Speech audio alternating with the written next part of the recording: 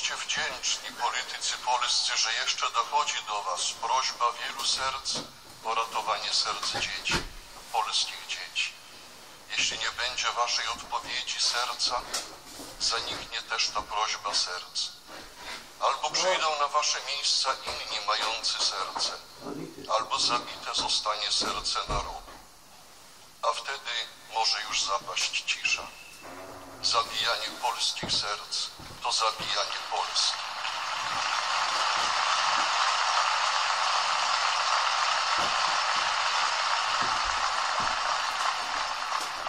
Dlatego nie, dlatego nie czekaj, siostro i bracie. Patrz w serce. Po impulsie własnego serca rozpoznasz, z kim i co warto czynić i w co się angażować dzisiaj. Nie kiedyś, jutro. Dzisiaj jeszcze jest czas wyboru. Dalej będzie już albo, albo. Albo po Bożemu, albo bezbożnie. Ale ci, co pozostaną bezbożni, będą osądzeni przez samego Boga i będą odrzuceni. Idźcie precz przeklęci w ogień wieczny, przygotowany diabłu i jego aniołom. Ale żeby ci się nie wydawało, siostry i bracie, że ja mówię do kogoś, to podkreślam, mówię też do siebie, bo my wszyscy, jako polscy katolicy, za mało się w tych sprawach modlimy. Jeszcze niedawno tyle było intencji dziękczynnych za niepodległą, sto lat temu odzyskaną. Jak szybko te intencje cichną albo wręcz milkną i ustają.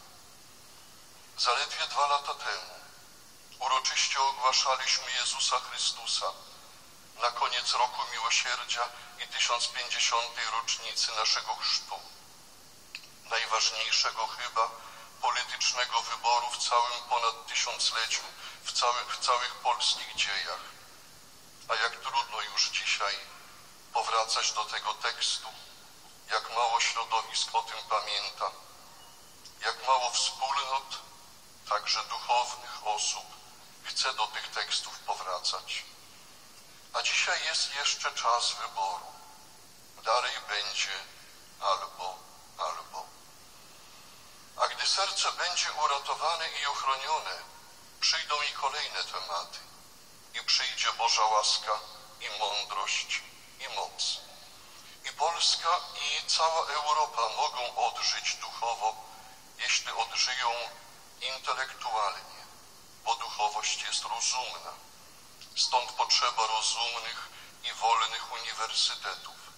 I stąd potrzeba rozumnych i wolnych mediów, bo to jest najbardziej powszechny uniwersytet.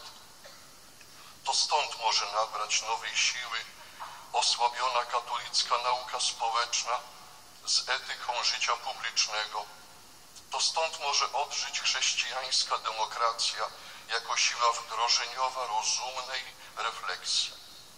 To jest droga personalizmu chrześcijańskiego. W duchowości i kulturze narodów środkowej Europy zasianych już za Cyryla i Metodego. Zasiane zostały i przedziwnie przetrwały i trwają w Polsce. To jest też wyjątkowy nurt interpretacyjny katolickiej nauki społecznej, także obecny w nauczaniu Karola Wojtyły, Jana Pawła II. Problem społeczny naszego pokolenia to jednak pytanie o demokrację. Bo jeśli demokracja, to z pamięcią, że dwa nurty są tu dominujące. Pierwszy to demokracja liberalna. Traktuje się ją w naszym pokoleniu niestety jako wręcz jedyną prawdziwą demokrację. Demokracja liberalna to formalnie demokracja uprawnień obywatelskich, demokracja praw człowieka, ale faktycznie jest to raczej demokracja oczekiwań i żądań od drugiego człowieka, od rodziny, od państwa. Kierunek dominujący ku sobie. A dlaczego? Bo tak jednostka chce, bo jednostka tak to widzi. To nie jest prawdziwa demokracja. To jest demokracja bez wartości, która, jak pamiętamy, wcześniej lub później przeradza się w jawny albo ukryty totalitaryzm. Jest to praktycznie karykatura demokracji.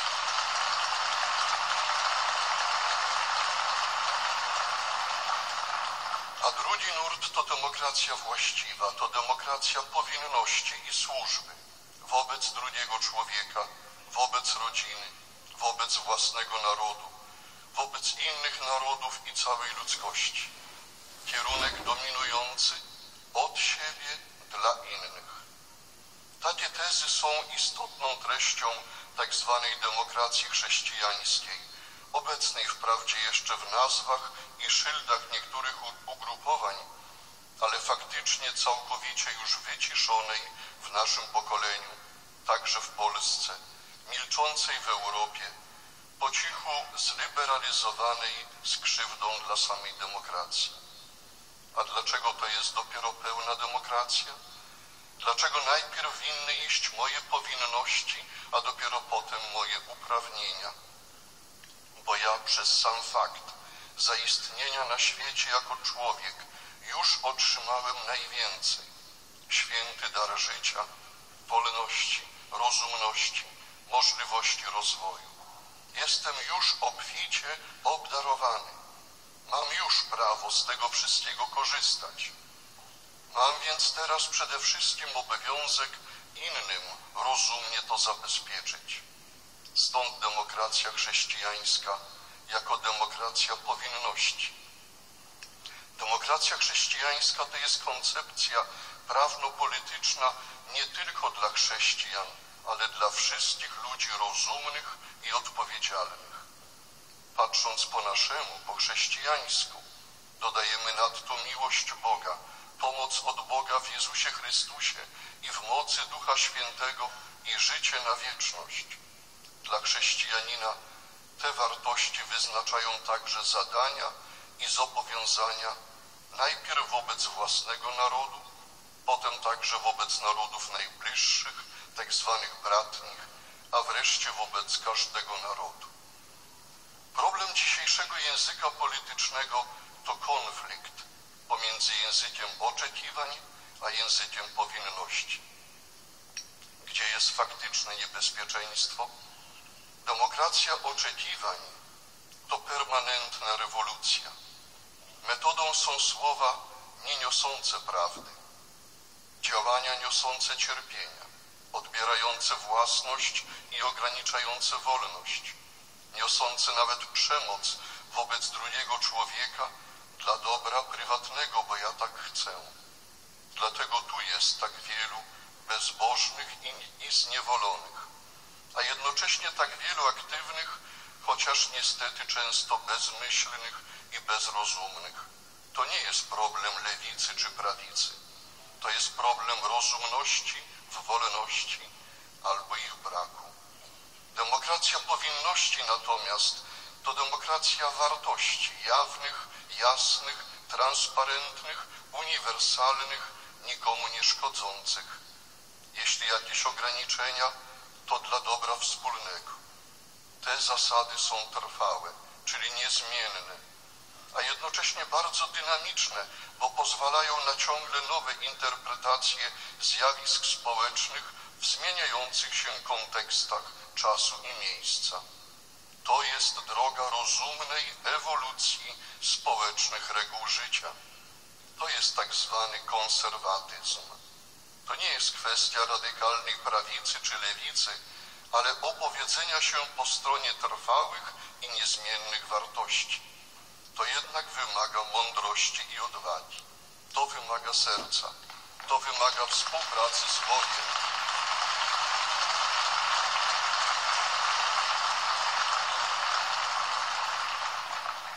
A wtedy cierpliwie uzyska się skuteczne odpowiedzi także na inne, bardziej szczegółowe kwestie, których codzienność życia wiele nam przynosi, a które mogą być omawiane i rozstrzygane w czasie sprzyjającym, skutecznym.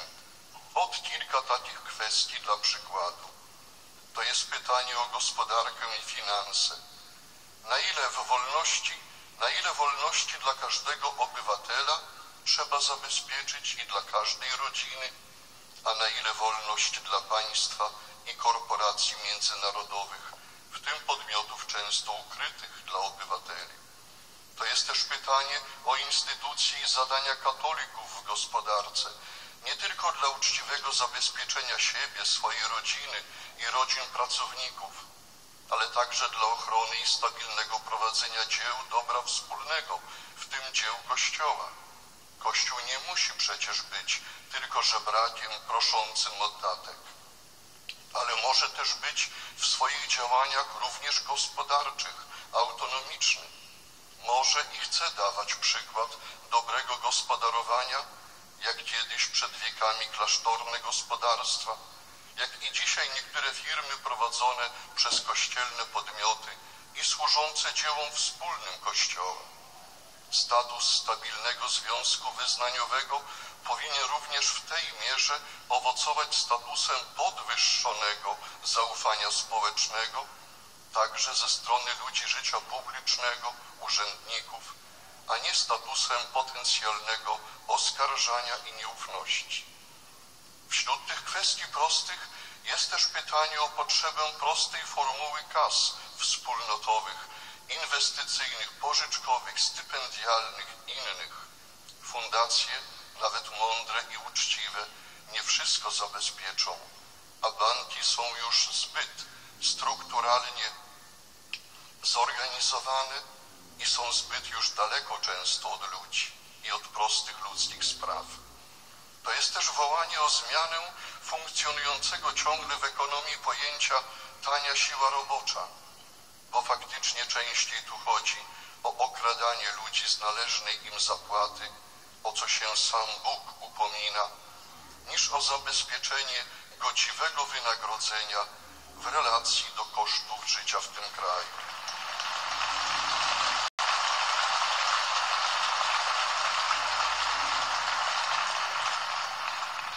Głośne są też problemy i programy mediów w Polsce.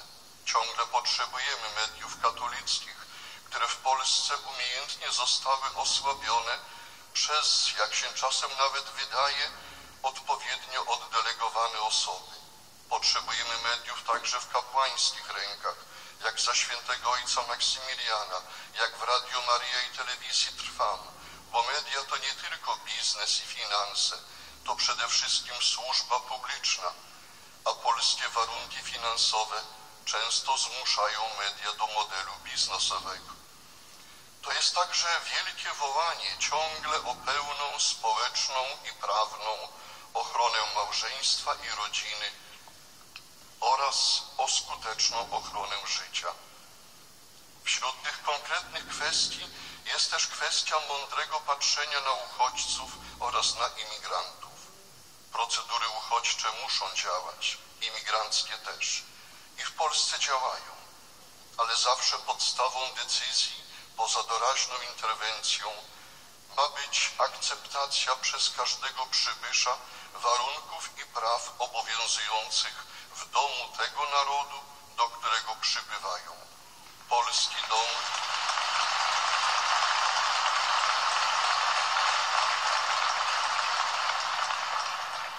Polski dom był w historii i jest dzisiaj otwarty. Dachu nad głową i chleba wystarczy, ale możliwe to jest tylko w atmosferze domowej, rodzinnej, w prawdziwej jedności serc, nie we wrogości i w podstępie, nie w pokrzykiwaniu na siebie.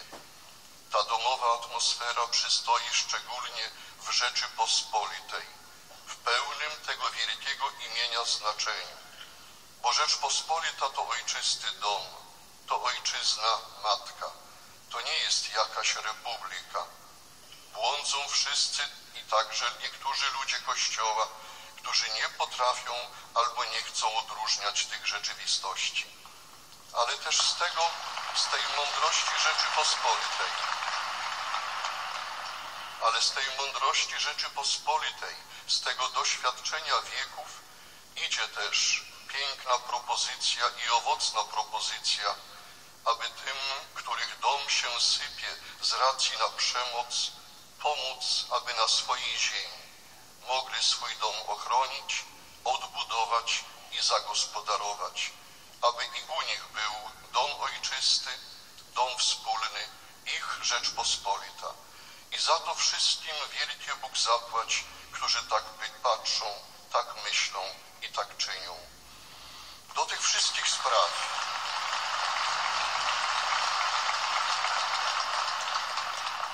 Do tych wszystkich spraw potrzeba więc ludzi wolnych i rozumnych, a do tego mających serce, a jeszcze lepiej będących ludźmi serca. Potrzeba ludzi serdecznych, robiących wszystko z sercem, po Bożemu, po ludzku, tak jak trzeba.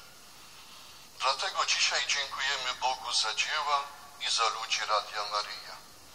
I Wam, ludzie Radia Maryja, po Bożemu z serca dziękujemy i prosimy Boga przez Maryję w tajemnicy jej niepokalanego serca. Niech trwa i ciągle obfite owoce przynosi ten maryjny, powszechny uniwersytet duchowej i narodowej wolności i rozumności Polaków. Tak przecież te media maryjne nauczają. Polacy, siostry i bracia, gdziekolwiek jesteście, nie lękajcie się. Z Maryją otwórzcie wreszcie drzwi Chrystusowi. Bądźcie wreszcie rozumnie wolni. Zachowajcie swobodę rozumowania i bądźcie ludźmi serca, czystego serca. Maryjo, niewiasto serca niepokalanego, jako niepokalana jesteś gwiazdą nadziei jesteś gwiazdą ewangelizacji. Prowadzisz nas do Chrystusa, Słońca i Króla prawdy, miłości i życia. To dlatego powtarzamy każdego dnia. Maryjo, gwiazdo ewangelizacji, prowadź nas, prowadź Radio Maryja i bądź Jego opiekunką. Amen.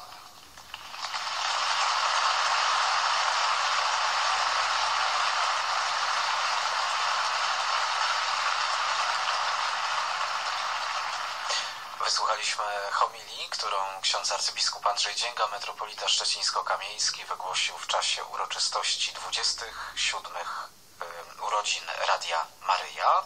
To w minioną sobotę, a tekst homilii wydrukowany znajdą Państwo w wydaniu naszego dziennika.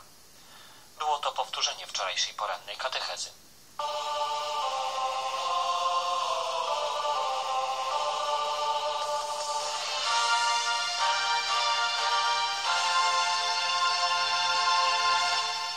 Słuchają Państwo Radia Maryja. Przed nami powtórzenie wczorajszej audycji z cyklu Czytać, aby być mądrym. Pan Szymon Cieślar, dyrektor Fundacji Nasza Przyszłość, szkół także, e, zespołu szkół e, średnich w Szczecinku i e, gimnazjalnej jeszcze, no i oczywiście nasz wielki dyrygent. tylko śpiewa. I wszystkim skłaczą Radia Maryja. Nic nie robi, tylko śpiewa. to, to jest też ciężka praca i to dobrze o tym wiemy, panie Szymonie. Jak po uroczystościach? No, wspaniale, przepiękne uroczystości, niezwykłe, jak zawsze niezwykłe spotkanie rodziny Radia Maryja i to jest najpiękniejsze, że co roku te spotkania gromadzą nas tylu i tak wielu i, i wszyscy przeżywamy to zawsze, wydawałoby się, że może będziemy przeżywać mniej, bo to już 27 rocznica. Dla mnie jest to zawsze nowe, wielkie przeżycie.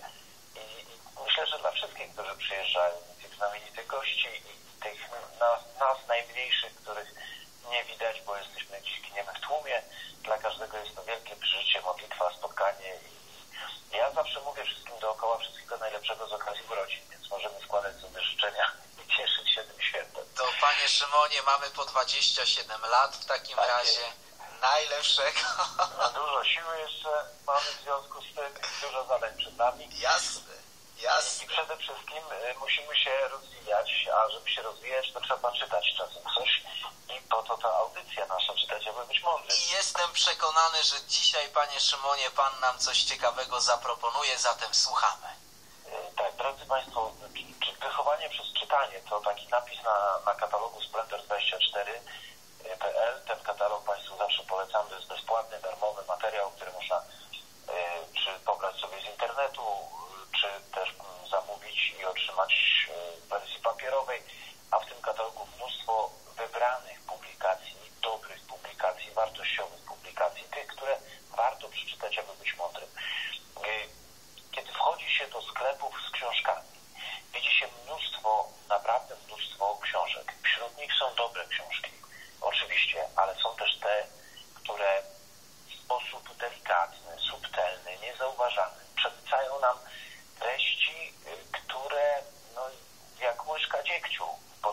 dodałem sobie siódmeczkę miodu.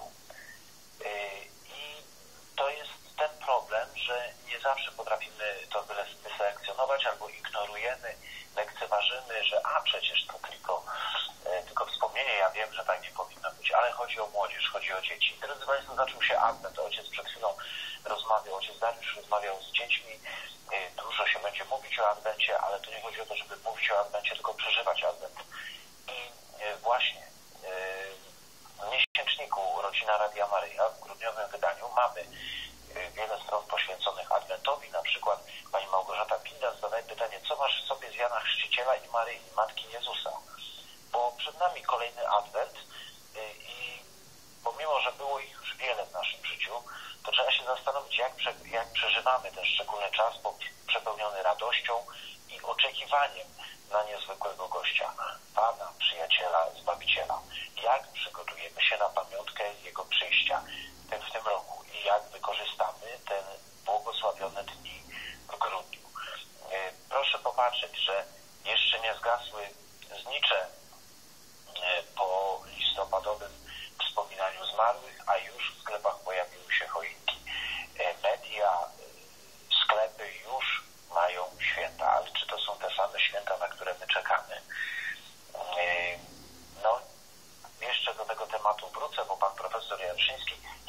o tym pisze. Ale drodzy Państwo, jak dzieciom pokazać adwent? No to jest y, trudne pytanie, bo z jednej strony mamy roraty,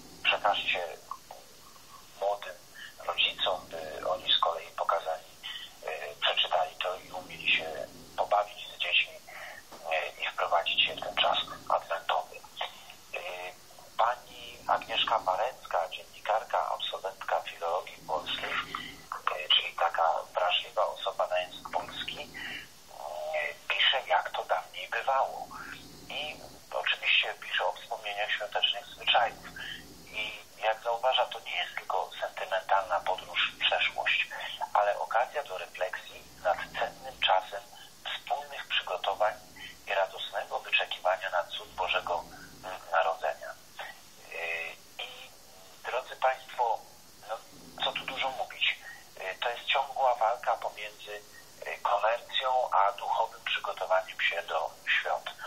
Sakrum i profanum.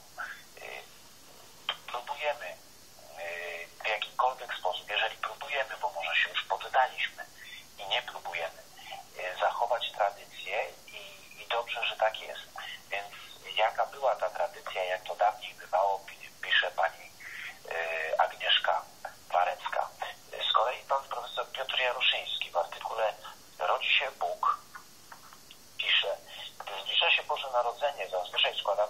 życzenia, ale nie są to życzenia jakiekolwiek, lecz te związane z jakimś wydarzeniem, które zmieniło bieg dziejów.